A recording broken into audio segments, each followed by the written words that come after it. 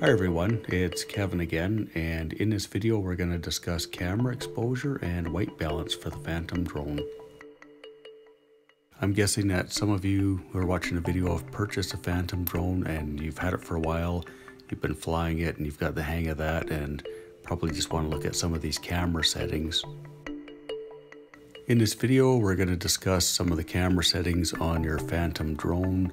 We'll discuss the difference between manual and auto mode We'll discuss the use of white balance, we'll discuss the use of digital filters, and we'll discuss the use of the style settings. One of the things we won't be discussing in a video is the histogram function. Uh, the histogram function is very much related to exposure and coloring, but I think it's one of those where it needs a tutorial all by itself. It's a little bit more involved.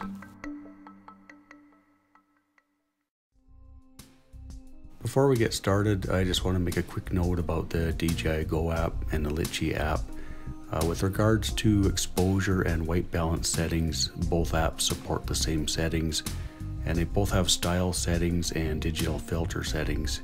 The DJI Go app, they refer to it as color settings, but it's the same thing basically. And if you were to go in and make a change to say the exposure setting, in the DJI Go app and then open up the Litchi app, you'll find that the settings will have moved over to that app as well. So let's talk about some of the settings. So for those who haven't played around with any of the camera settings before, uh, what you're going to do is go into the app and just click on that little icon with the little slide buttons. And uh, just look at the blue arrows, that's where you're going to click to get to your exposure settings for either app. As you can see, both apps have an ISO setting, they've got a shutter speed setting, and they have an exposure value setting. So the ISO setting and the shutter speed setting are only for manual mode. The exposure value setting is something that you can do in auto mode. And now we have white balance. As you can see by the blue arrows, that's where you find your white balance setting. And there's your digital filter settings and color settings, same thing. And there's the style settings. Well, let's start off with a few exposure settings. And let's click on that camera settings icon. You'll see that the exposure settings are right there and you'll see that it right now set for auto, which is the way it comes default out of the box. And there's nothing you can set in auto except for the exposure value. And you can see that by lowering it, makes the picture a little bit darker. And if you add exposure value, it goes lighter. That's really all it does is it darkens it and it lightens it.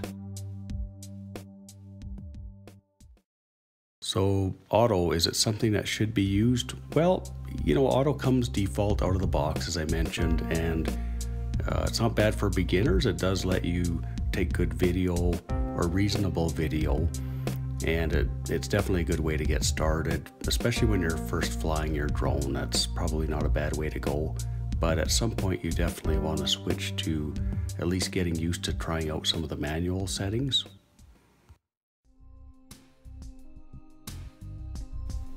Here's a look at some footage using auto settings for white balance and exposure.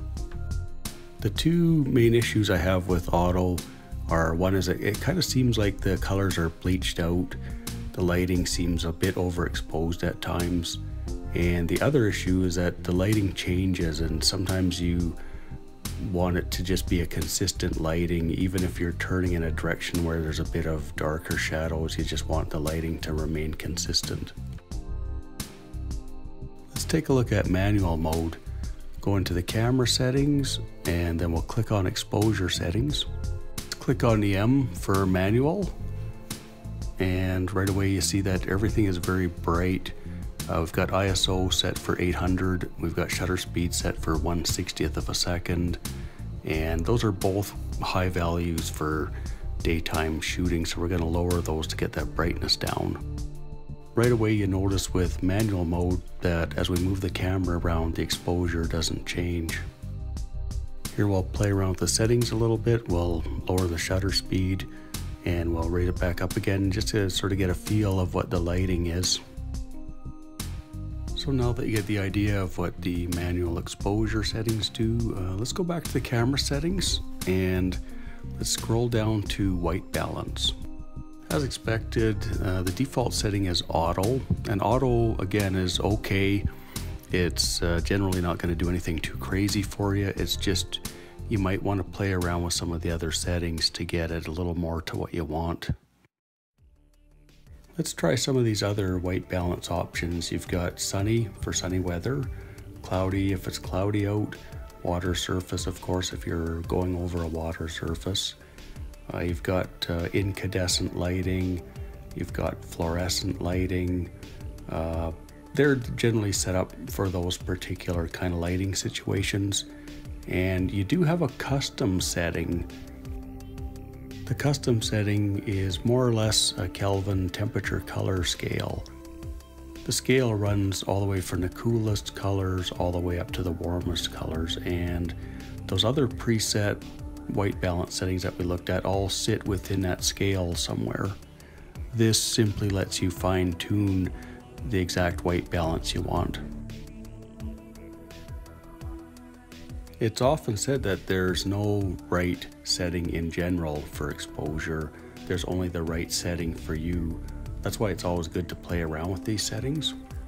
And so now we move on to the digital filter settings, or in the DJI Go app, as they call it, the color settings.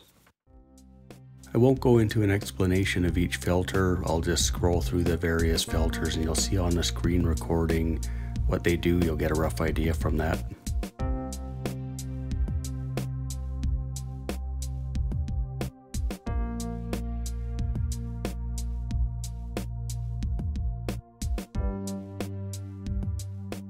And there you have it. Those are your digital filters. Next, we're going to take a look at the style settings.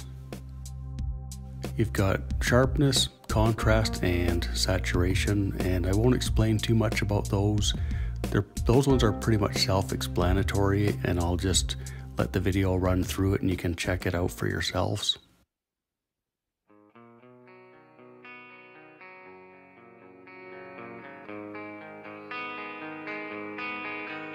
I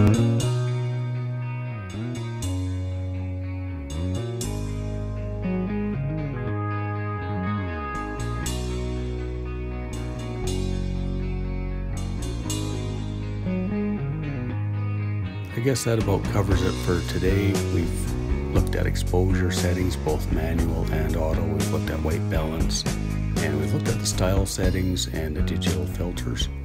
I'll leave you with this video here. This is the footage that we got from the camera when we were scrolling through our white balance settings. I hope you find this video useful. Thanks for watching and have a good day.